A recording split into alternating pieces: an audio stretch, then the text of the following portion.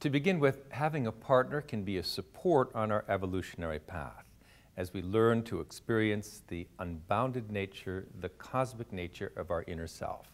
Someone to reinforce each other in that path towards expansion to the experience of infinity. But beyond the mere experience of infinity, immortality, comes real development towards even higher states of consciousness, God consciousness, for example, where the divine is lived on a sensory level.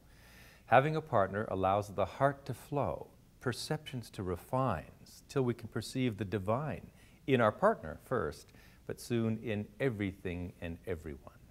Now, when you have someone to love, that act of loving refines our perception.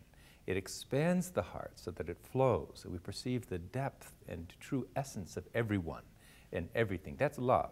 So love is actually a tool to evolve from mere enlightenment or nirvana to higher states of consciousness, like God consciousness, glorified cosmic consciousness.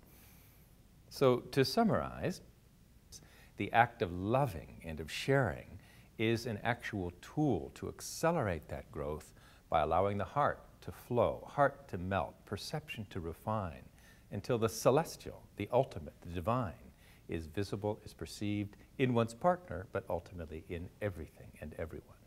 A loving partnership should support our finding of our path, of our Dharma, our evolution towards more and more and to ultimate fulfillment in higher states of consciousness.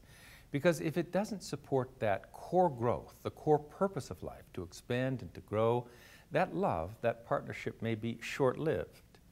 Ultimately, everything in life has to serve our ability and our deep tendency to evolve and expand towards fulfillment. And partnerships have to be in support of that as well. There can be short-term compatibilities to fulfill modest goals, short-term goals, and that partnership could be fruitful for a while.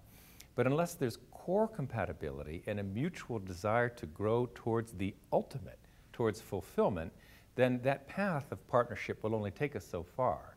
And then life itself that demands to grow could even separate us because ultimately nothing can stand for long in the path of our ultimate fulfillment.